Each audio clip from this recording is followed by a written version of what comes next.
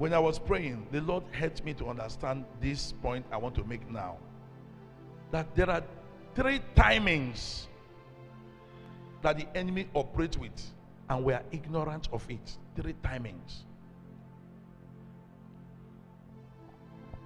The enemy operates in your past. Never you think that your past is over.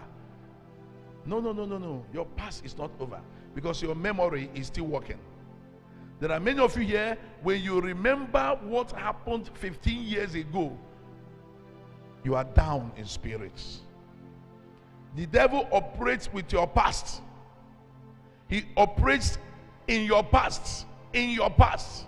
He works seriously in your past. The devil has assigned many demons to use your past as a raw material for their evil deeds.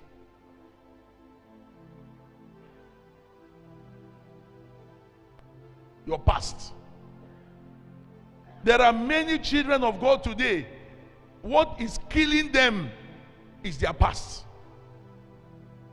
What is killing them is their past. The devil operates with our past. Number two, the devil operates with your present. The, what you are passing through now, your present condition now, can make you lose your happiness forever.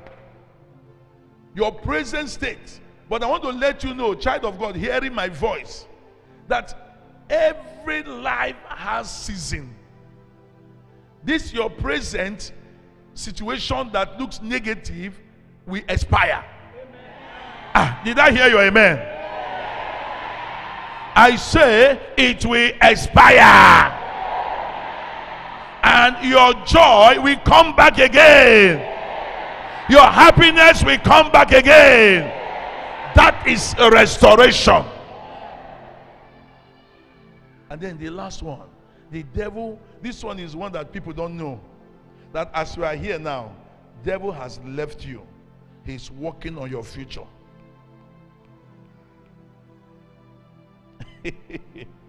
this one will surprise you. Devil is working. He has assigned demon to go to your future. To scatter your future. To switch off the light of your future. So that as you are walking into your future, you are walking into darkness. But if you can stand up and say amen, that demon that is operating on your future, Holy Ghost fire! Let the fire destroy that demon. Let the fire destroy that demon. Let the fire destroy that demon. Let the fire destroy that demon.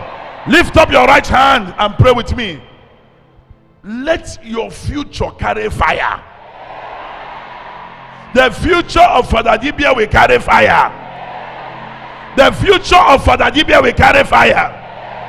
The future of your children will carry fire. Holy Ghost!